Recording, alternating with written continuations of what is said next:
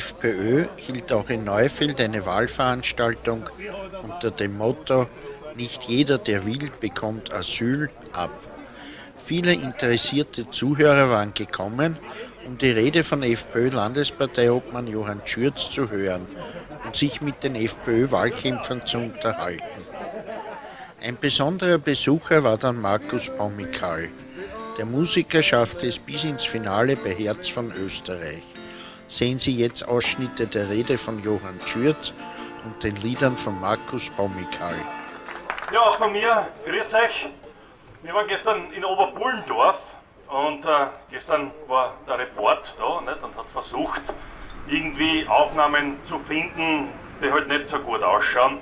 Ich glaube aber, das ist nicht gelungen. Auch in Oberbullendorf und so viele Leute wie heute. Ich bedanke mich recht herzlich, dass heute kommen seid alle. Hätte man gar nicht gedacht. Dankeschön. Danke, danke. Ja, zwei, drei Sätze. Ich habe wirklich nicht so lang, weil ich weiß, wie das ist, wenn man Zuhörer ist. Aber zwei, drei Dinge, die mir wirklich am Herzen liegen. Der Herbert hat es angesprochen. Also dieser Vandalismus ist ja eine unglaubliche Gewaltorgie des wirklichen Wahnsinns. Das erinnert mich so ungefähr an das Akademikerball. Nicht? Akademikerball, da sind tausend Akademiker, veranstalten ein Ball. Das muss man sich vorstellen. Universitätsprofessoren, Akademiker, Doktor, Ingenieur, Diplom-Ingenieur, gehen mit den Frauen auf einen Ball und da kommen diese links-linken Gewalttäter, spucken den Frauen aufs Kleid, aufs Ballkleid, bewerfen diese Frauen, sind gewalttätig und die Polizei steht neben und schaut zu. Die Polizei, die heute da ist, die schaut nicht so, die unterstützt uns und hilft uns, also das ist natürlich ausgenommen. Aber das sind natürlich Situationen, die ein Wahnsinn sind. Und genauso ist es mit den Plakaten passiert. Man hat mit Gewalt diese Plakate umgedreht. Mit Gewalt die Eisenstangen verbogen wirklich mit, mit, mit, mit Gewalt und mit innerer Intuition, die man gar nicht verstehen kann. Das heißt, das lebt die andere Gewaltszene. Ein Freiheitlicher, glaubt mir das, wird nie irgendwo zu einer SPÖ-Veranstaltung gehen oder zu einer anderen Veranstaltung und gewalttätig werden. Das tun wir Freiheitlichen ganz, ganz sicher nicht. Glaubt mir das? Nur mit uns, nur mit uns Freiheitlichen wird es eine Veränderung geben im Burgenland. Nur mit uns ist es möglich, dass wir in Burgenland ein Sicherheitsland kriegen, ein Familienland und ein Heimatland. Das geht nämlich deshalb nur mit uns, weil alle anderen, alle anderen immer nur Versprechungen gemacht haben und nichts gehalten haben. Vor fünf Jahren hat die Freiheitliche Partei plakatiert, burgenländische Arbeitsplätze für Burgenländer zuerst. Na, wir haben uns da beschimpft haben lassen müssen. Nicht? Geschimpft haben sie alle. Der Landeshauptmann hat geschimpft, der Stellvertreter hat geschimpft. Das geht ja nicht, das Bildzeichen hier ein. Das geht ja nicht, weil die EU lässt das nicht zu. Na, das stellt, muss man sich mal vorstellen, die EU lässt das nicht zu, dass wir burgenländische Arbeitsplätze für Burgenländer schaffen.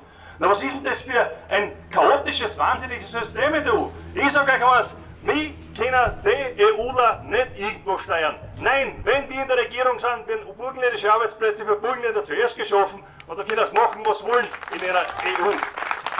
Dann überweist man halt keinen Mitgliedsbeitrag mehr. Wir sind ein Nettozahler mit 2 Milliarden. Na gut, dann überweist man halt nichts mehr. Cameron hat gesagt, wir brauchen keinen Euro. Cameron hat gesagt, wir brauchen das nicht. Cameron hat gesagt, keinen Euro nach Griechenland. Was haben wir gesagt? Ja, ja, ja, das geht ja gar nicht. Die haben keine Kraft, unsere Politiker, die haben kein Standing. Nur mit der Freiheitlichen Partei wird es eine Kraft geben, wird es wirklich einmal eine Kraft geben, auch im burgenländischen Land, auch in der burgenländischen Regierung. Das heißt, man möchte, so wie in Schweden, dass alle ihr Kind ab dem ersten Jahr weggeben. Also es ist nicht mehr Mutter und Vater, sondern es ist nur mehr Fremderziehung gefragt. Man stellt sich das einmal vor. Es ist so geplant, dass man die Kinder ab dem ersten Jahr weggibt, da kann das Kind nicht einmal noch laufen. Das Kind kann nicht einmal noch sagen, mit tut der Kopf weh oder mit tut der Bauch weh. Wichtig ist, dass das Kind abgeschoben wird und diejenige, die das Kind dann betreut, nicht, die kriegt ungefähr 1200 oder 1300 Euro, die das ein Kind betreut und die Mutter selber die sich entscheidet, bei Kind zu bleiben, kriegt 436 Euro. Das kann ja nicht normal sein. Wenn halt der Mutter sich entscheidet, beim Kind zu bleiben, dann hat er genauso zu, zu verdienen, oder nicht 436 Euro, sondern im Minimum 844 Euro. So wie die Höhe der Mindestsicherung. Und schauen wir uns die Sicherheit an. Nicht? Da sagt der Herr Landeshauptmann, sagt er, das kommt ja nicht in Frage, nicht, dass Polizeiinspektionen geschlossen werden. Das kommt überhaupt nicht in Frage. Na, habe die Ehre. Zwei Monate später sind alle zugespeckt worden. Also das war ungefähr das Versprechen des Herrn Landeshauptmann.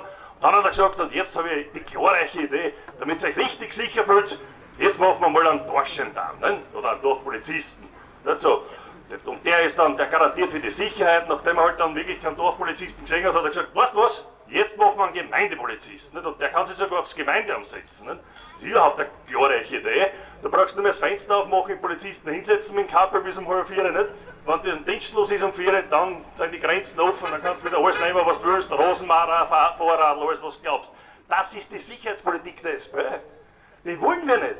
Wir wollen zum Beispiel eine Gemeindewache. Eine Gemeindewache, wo 800 neue Arbeitsplätze für Burgenländer geschaffen werden können. Warum soll es keine Gemeindewache im Burgenland geben?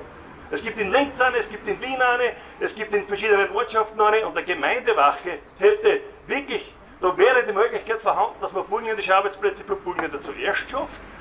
Und äh, zu den Grenzkontrollen, und dann komme ich eh schon zum Schluss, zu den Grenzkontrollen, weil viele sagen, wir können ja nicht Schengen aufheben. Das hat mit Schengen aufheben nichts zu tun. Es werden nächstes Jahr 50 neue Grenzübertrittsstellen geschaffen. 50 neue Grenzübertrittsstellen. Wisst ihr, was das heißt? In Wahrheit macht man das Burgenland zum Selbstbedienungslohn für alle, nicht? für Kriminelle. Machen wir auf, kommt her, nehmt euch was braucht und fahrt wieder. Das wollen wir nicht.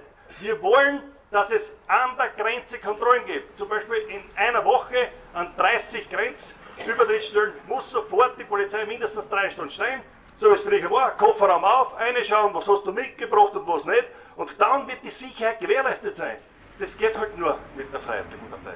Das geht nur mit der Freiheitlichen Partei. Nicht mit irgendeiner Splittergruppe, zum Beispiel diese Liste äh, Stronach äh, oder Fritz oder, oder LBL oder BLBL, ich weiß jetzt, wie, wie die heißt? Äh, wo der Wolfgang Grautner immer zurücktritt. Nicht? Wirklich abschließend jetzt zu einem Thema noch, das mir auch am Herzen liegt und das wirklich auch nur mit der Freiheitlichen Partei geht. Das kann nur mit uns gehen. Und zwar das Thema Armut im Burgenland. Im Burgenland sind 30.000 Menschen armutsgefährdet, 30.000. Und 4.500 Kinder sind in akuter, leben in akuter Armut. Das heißt, die können sich nicht einen Schokolade kaufen. Oder die können nicht sagen, Mama, ich hätte gerne Schnitzel sondern die haben so wie früher Brot und Milch und gerade, dass man halt die Kinder über, über Wasser hält. 4500 Kinder in akuter Armut in Burgenland. Und dann, dann gibt es eine Wunderhilfe in Burgenland, nicht? die auf das ausgerichtet ist, dass die Armut bekämpft werden kann. Und die Wunderhilfe in Burgenland, das müsst ihr euch einmal vorstellen, ist so gestaltet, dass mehr, desto mehr es verdient, desto mehr Wunderhilfe kriegt man. So habe ich noch überhaupt nicht gesehen. Ich habe das jetzt einmal angeschaut und gesagt, was ist denn das für ein krankes System?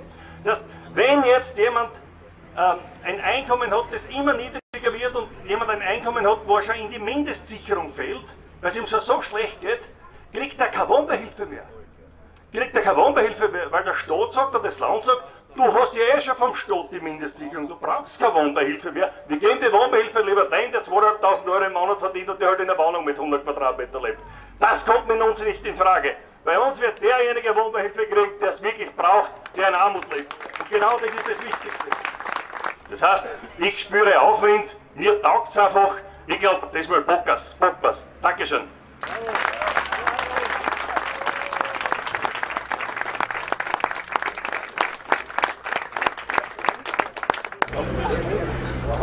Ja, Herr Bezirksobmann, du musst jetzt so. Geht schon. Zu, zu der Pippenholzer gegen Bier.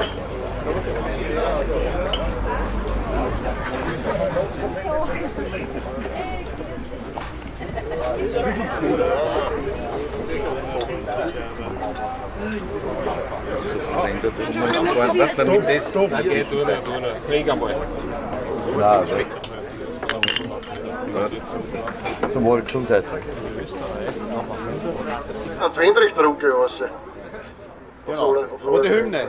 Nicht der Höhe. Bundeshymne, oder? Nein? Nein, was für dieses?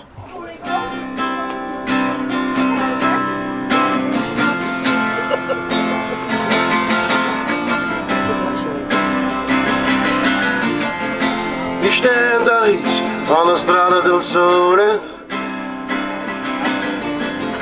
Di fiesta madre in den Egen Sandale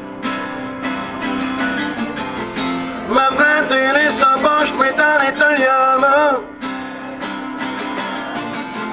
Es geht ums Marktschließen, jetzt stehe ich am Lotto Und Of